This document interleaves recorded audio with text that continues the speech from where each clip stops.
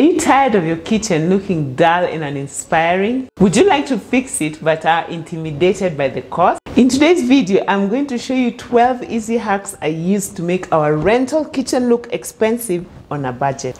These hacks are simple, affordable, and will completely transform the look of your kitchen. I mean, ours used to look like this, but now it looks like this.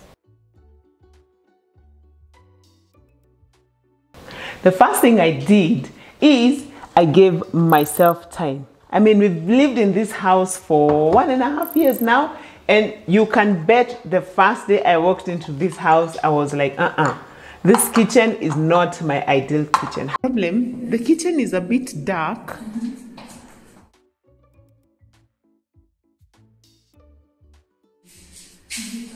This Fantastic. Yeah, that's not bad.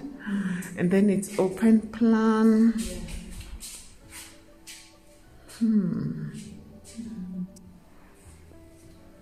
Where? Hey. Okay. However, I was willing to wait to save money and to not give myself pressure to have the kitchen looking like my dream kitchen immediately. So I highly suggest just give yourself some time and then you know don't put don't put yourself under pressure and then eventually you will get there. All right guys come for peanuts.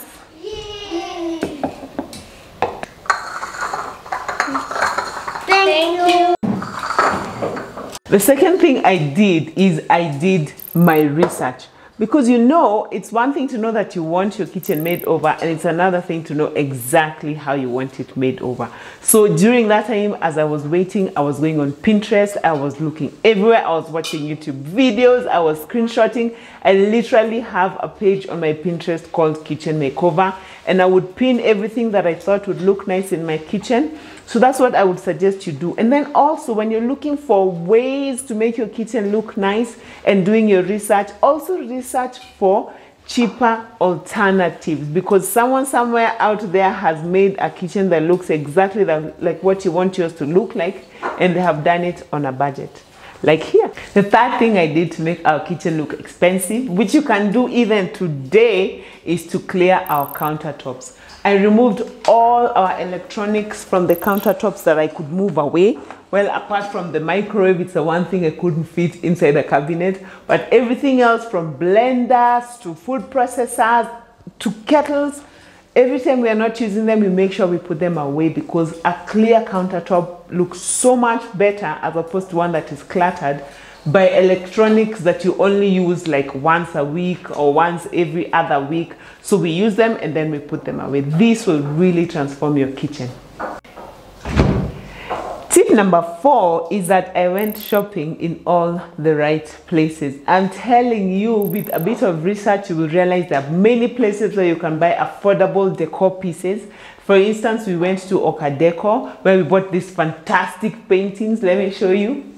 Like if you watch the kitchen makeover video, which I'm going to link here, these paintings, we bought them at Okadeco for only 1,600 shillings. That's literally like $12 at this point in our country. And we also went to Kamukunji. You see, you have to be willing to walk around and also to bargain for prices. So we went to Kamukunji. We also went to Stage Market where we bought some of the greenery.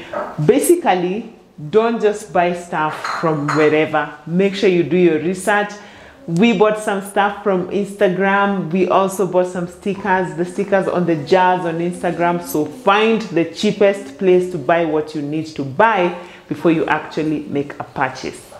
Oh i almost forgot to mention these lovely curtains that we also bought from Eastleigh yes we went all the way went through all the shops. So as i said look for the cheapest places to buy what you need to buy before you actually make a purchase. Tip number five is I look for temporary, effective, and affordable ways to change the color of the kitchen. Because you know, one of the first things we all want to do, especially if you move into a house and the cabinets are that hideous brown color, is you want to change the color. Now, our cabinets were covered with MDF, which means we couldn't paint. So what we did is we got contact paper and this part is tile and this part is concrete wall. So what we did is we covered it all in contact paper. It was cheaper, it's temporary because this is a rental and it was faster and we're able to get the color that we want. Tip number six is I hid what I couldn't control. Like if you look at our old kitchen videos, this place was made of glass so you could see exactly what was inside and it was so much pressure to just make the inside look nice because it was visible. So what we did when we were doing the makeover is instead of worrying about how to arrange all that stuff, we put black contact paper. We completely covered what was inside so now the kitchen looks so much better. It looks so much neater. I don't have to worry about arranging the stuff in the cabinet. And it was so simple.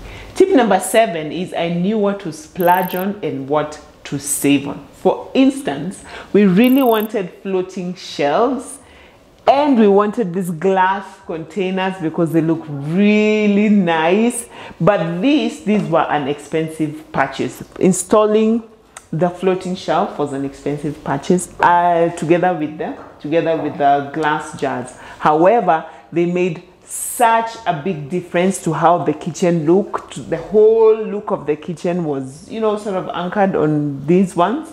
So we decided that is something we could afford to splurge on. Now where we saved was on the floor. So on the floor we decided instead of getting like some huge carpet or just changing the tiles we got someone to come and polish the tiles that are already there and also to regrout the tiles. And i'm going to just put the contacts of these guys down below so that you if you want to just engage them in some services you can do that. And speaking of service providers that is my tip number eight is i looked for affordable service providers. I asked around i compared prices I didn't just go with the first service provider that I found. Well, granted, when it when we were putting the the, the contact paper, the person we started with um, sort of like jumped ship at some point, and their work was not as good quality. However, we did end up with a really nice person who was, in my opinion, much more affordable than some people I had found on the Instagram. So I'm just saying ask around. Don't just go with the first person okay? I mean it saved us uh, quite a few thousands of shillings.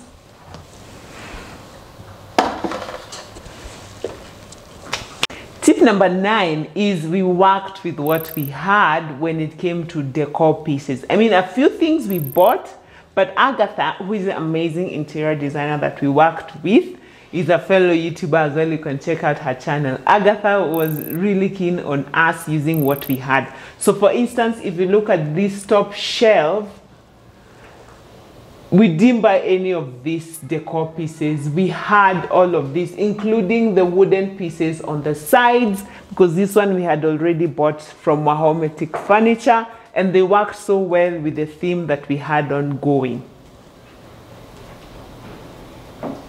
So all I'm saying is look around your house, see what you have, see what you can repurpose, what you can move from another room to come into your kitchen and basically to any room that you want to decorate before you go and buy everything else that is new and find that you still had some stuff in your house that could have been repurposed, you know? Tip number 10, and this maybe should have come a bit earlier, is that I knew my season and I was content. Let me give an example. We have four kids and the oldest right now is eight. So when they were a bit younger, you know toddlers and you have toddlers in the house and everything. So this is the type of, this is the container that I used to use for our cooking oil.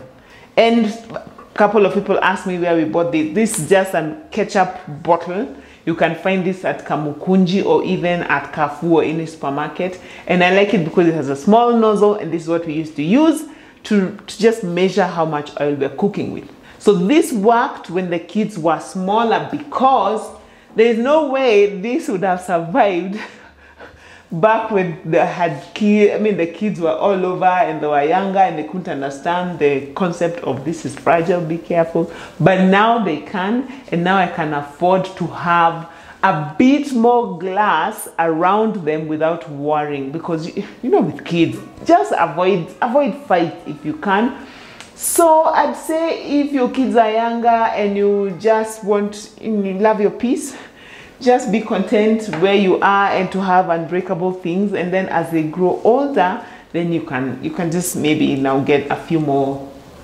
pretty looking and fragile pieces. And it is okay to be patient until that season comes to an end because it does. And so for me my season of this was over. And now i'm in a season of this